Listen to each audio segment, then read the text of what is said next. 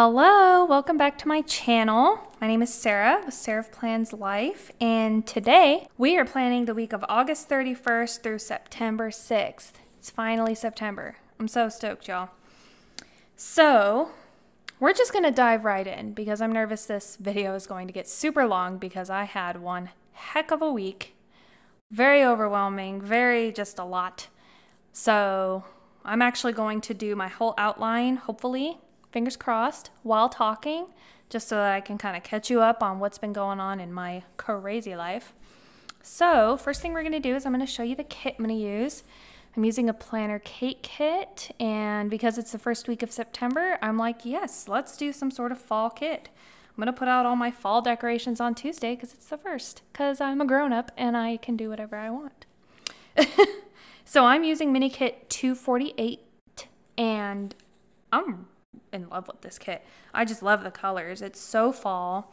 This is kind of a, it kind of reminds me of Wizard of Oz for some reason, even though like those aren't ruby slippers or anything like that. I don't know. I just see this picture and I think Wizard of Oz. So yes, this is the kit I'm going to use. So let's just jump right in. I've got a lot going on. Let me just kind of show you how this week ended up turning out. Ooh, stickers. Uh, as you can see, I had to write in a bunch of stuff, and then obviously nothing's happened the last two days because my son had his tonsillectomy yesterday, so we've just been relaxing at home. So, yeah, so the first big thing I guess that happened was on Sunday. So, Saturday night, I had a Skype call with the dads. I can't get this off. Okay.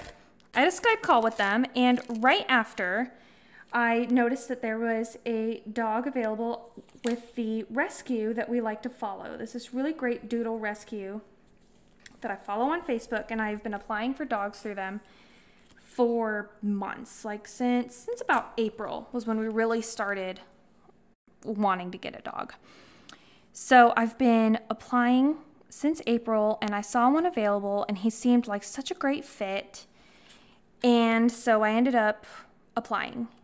And so that was Saturday night. Sunday morning, we started putting together a new dresser for my son. It's one of those flat pack, is what my husband called it, a flat pack box. And so it had a million pieces. It kind of reminded me of like an IKEA setup. It had a million pieces, I feel like. So that was all spread out all over our house.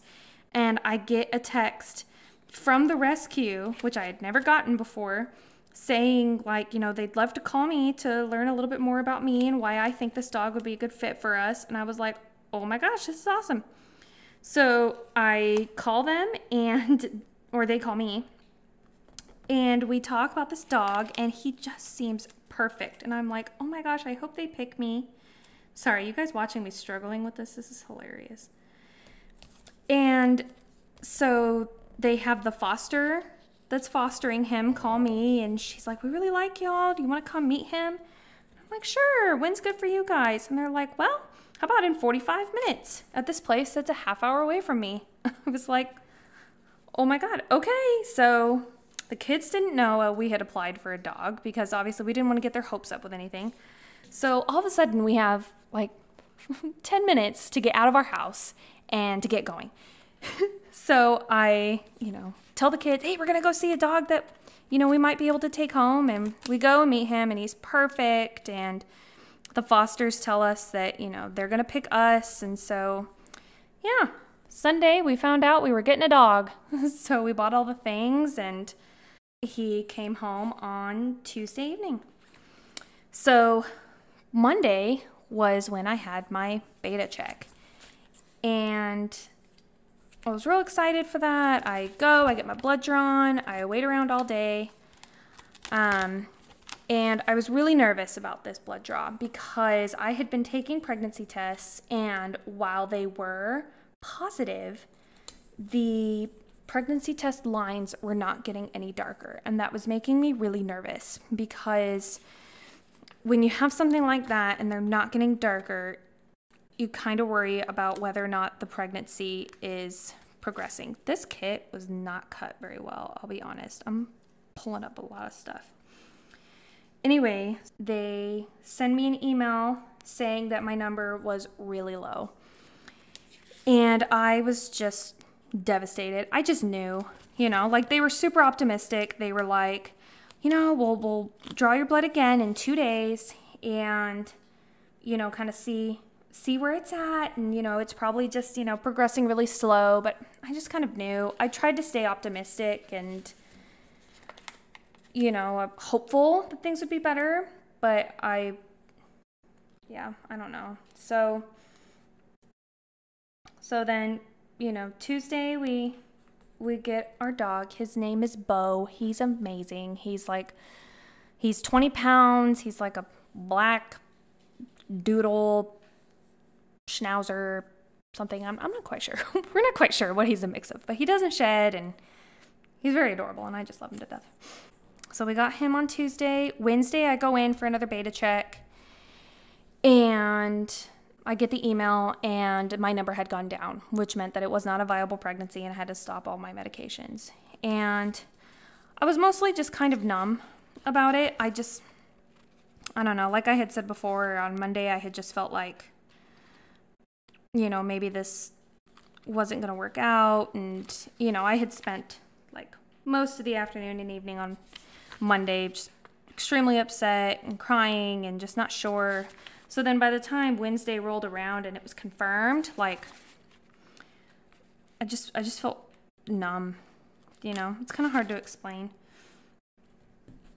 So so yeah, we're, you know, I stopped all my meds. We need to wait for my period to start. I still want to make a transfer video for you guys. Like I know I've been saying it every week that I'm going to do it, but like this week was just rough and I just I, I could not motivate myself to get out all of my camera and all of my gear and put myself on camera to cry and tell you how amazing the transfer was and how it, you know, didn't work.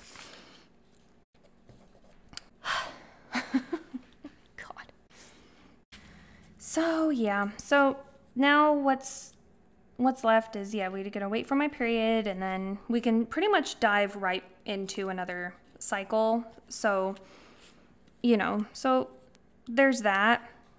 But it's still it's still devastating and I mean, I'll, I'll be honest, I feel so much better today than I did on Monday. Like I feel I feel good, you know? Like I feel I feel ready to just jump onto the next one and try again and I know that after one failed transfer, usually the second time around, it's it just works. So I also feel very optimistic about the next time, but it's, you know, it's just another thing of, oh my gosh, we're going to have to plan for San Diego trip again. Uh, make sure my friend can watch my kids again. And now we have a dog, so now we got to figure out what we're going to do with him. And, you know, it's okay.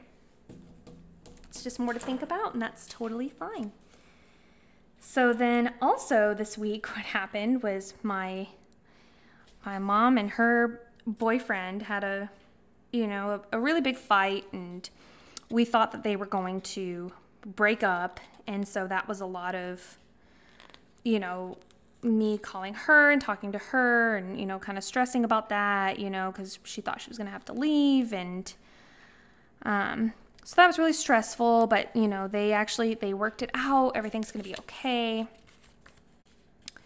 So that worked itself out, thank goodness. But it was like, for me, it was like, oh my gosh, another thing that's going on this week. Like, this week is the longest year of my life.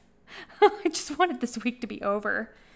You know, like, I'm very glad we got that the, you know, the good thing that happened this week is that we got Bo. But it was just, it's just a lot of overwhelming stuff happening this week.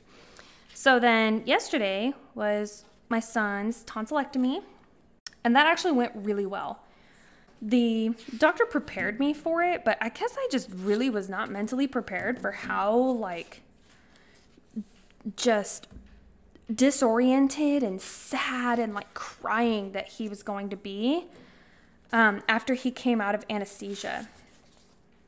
I was not I was not ready for that. And he it was very hard to watch and you know, it just was made me very sad.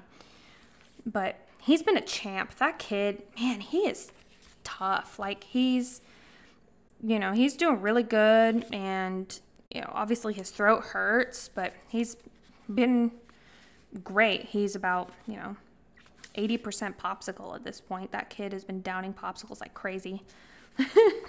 it's like he's like it's probably the best few days of his life getting to have, you know, popsicles and ice cream for breakfast, lunch and dinner. he's been loving that. It's to rain a lot this week. So, yeah, so that was my week. How was your week? Was your week as crazy and busy as mine? Was it a bit easier than that? I feel like I've been talking your ear off about my crazy week, but yeah, I've just had a lot to say. Okay, so I am going to go through and write in the temperature for the week and my couple to dos that I have, and then I'll be right back. Okay, put those dates in, so now we are good to go. Yeah, so our dog Beau, and it's spelled B E A U X. um, his name actually with his foster, his foster named him Beau. Um, she actually named him Beauregard, and they shortened it to Beau, but without the X. And then when my husband went to go and make his little dog tag, he uh, he like called me and was like, "Hey, can I put an X on the end of his name?" Because my husband's Cajun, and so that's like a big thing for Cajuns is having an X on the end of everything. Um, and I was like, "Sure, that's fine. That's still cute." So Yes, little Beau, and he is the most laid back, easygoing, like just amazing dog that I have ever met. Like I can't even I can't even with this dog. He's so he's so dang awesome. Um, I posted a picture of him on my Instagram, but like here's a little picture of him on my phone. And he's so cute. I love it. Okay. Anyway, back to planning. So now we have dog things to add on here. so he needs a dose of heartworm medication. So this is the last dose that for like a three month thing that he's supposed to do. And then I think after this we can do yearly. I don't know. Put down in the comments what, what you guys do with that because I have no idea. Okay, so then Monday I will be uploading, and I'll use one of these flag stickers. Use these flag stickers for all of this. So I'll upload this video probably around around 9ish. 9.30, I think is when I typically been doing it. Oh my gosh, look how crooked I made that. Ooh, this is why I need to use my tweezers. Okay. And then I'm going to do some self-care on Monday night. I'm just going to kind of take care of myself and, you know, I, I really, I really need it. Maybe I'll paint my nails and watch a movie and just relax in bed. And it's going to be excellent. Actually, you know what I'll watch? I'll probably watch Hamilton. so I'm going to put a little Hamilton sticker here. So we know that's what I'm going to be doing, you guys. Okay, so Tuesday, now what we're doing, Tuesdays, we're going to be sending Juliette to my friend Stephanie's house for preschool. She loved it last week. She's been a champ this week too. Like I feel bad for her, especially with like Scotty having his surgery. She's just been you know, like she'll come to me like my throat hurts too. And I'm like, "No, it doesn't. you are fine." but I mean, you know, it's just hard for her. Like she's just, you know, a lot of attention on Scotty, and you know, she's she doesn't like not having the attention on herself, and I get it because I would be too. All right, and then we are also having. We are getting a new front door Oh my gosh, these really were just horrifically cut. Like they are not coming off the page very well. Okay, so we are getting a new front door installed on Tuesday. Not quite sure what time yet, but I am so excited because the way our house works is we have, you know, we have our front door and then we have a really long hallway where the bedrooms are off of the hallway a little bit and then it goes to our family room. So that hallway, there's no windows at the door. So it's very narrow. So it's very dark in that hallway. So what we're doing is we're going to get a door that has like a nice big piece of glass in it so that we can let some natural light in. Um, it's an opaque glass, so you won't be able to like see inside very well. And we're gonna paint it red, but it's really gonna brighten up that hallway like a ton. And I am so excited for that because like I just, you know, little things to like spruce up our house just makes me just super happy. Like getting to have like upgrades to the house and stuff. Like it's just it's so exciting for me. And then I'm putting in here that Juliette has her taekwondo class on Tuesday. I don't know if I will be able to take her or not. It depends on if James is able to get home from work early because Scotty will not be going to taekwondo. They want him on like limited activity for 2 weeks. I I mean with the way he's been, I'm thinking I'll be able to let him go to like one class next Saturday, kind of see how that goes for him. But realistically, I'm planning on him not doing taekwondo all, at all this week. So if James is able to come home early from work, then I will be able to take her so she can do her taekwondo because she just she loves it. So I am getting my HCG levels checked again. I'm getting them checked on Wednesday just to make sure that all of the levels are completely back to zero. Um, so what it seems like happened is I think what I have what I had was a what's called a chemical pregnancy. So my body may have like that embryo may have stuck um, but just didn't continue to grow or my body thought that it was pregnant and started producing some HCG but then it just went straight back down. So I'm not quite sure. Um, the dads actually have a call scheduled with their with the doctor with the with the doctor. So they're gonna really get like a good idea of what happened i think from her and just kind of next steps. But i think what we'll be able to do is we'll be able to just head straight into another cycle. This is still tentative here, but I'm thinking Scotty will be able to start going back to online school on Wednesday, but it just it just really depends. It's tentative. He oh, another thing I found out that happened this week is that they like rearranged a lot of the online kids and moved them into different classes, which normally would be totally fine. But for you know, for Scotty, like that, all of a sudden it changed our entire schedule because this teacher does things differently than the other teacher. So now we're only doing three online, like live classes, which is great. I love that we aren't having, you know, six classes a day. Like that was excessive. Like it's just easier for me to just be like, okay, you know, just just just let me do it. Just let me just let me do these assignments. So, now I'll be able to, you know, I can kind of take control. I can choose our schedule. I can choose like when he does these classes and stuff. Like she put out like a like a guideline like you should be doing this at this time and this at this time. But I am just like, no. I'm going to do it. So that's just going to be, this is super crooked. That's just going to be real nice to be able to do that. Granted, he was in her class for all of a day before his tonsillectomy, so that's that's been nice. So it's just frustrating. And I know it's very frustrating for the teachers too, because, you know, they're just kind of being thrown around at this. Like when I told his old teacher that he wasn't in her class anymore, she was like, oh, he's not? Like she had no clue. So this whole thing is just a mess. Okay, so I'm having a Skype chat with the dad so we can kind of talk about, you know, how their phone call went with the doctor and uh, just kind of what's what's going on there. So we are just doing tentative taekwondo here.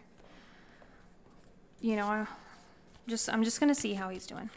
We will just we will just see what happens. But yeah, it's not gonna be too busy of a week, mainly because you know Scotty's still recovering, so we don't really have anything planned. We don't have swimming planned. Both of their last classes this last week were canceled because they were having some sort of pool and internet problem. I'm not quite sure, so they canceled their last two classes. so now now they each have one swimming lesson left, which is why I have Call Aqua Tots on here because I'm going to be scheduling those for, you know, in two weeks.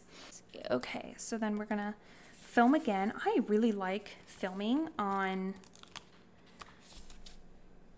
the evenings. It's been so nice getting to get my filming done at night after the kids go to bed and this is just kind of nice nice me time. Use another one of my once more with love stickers.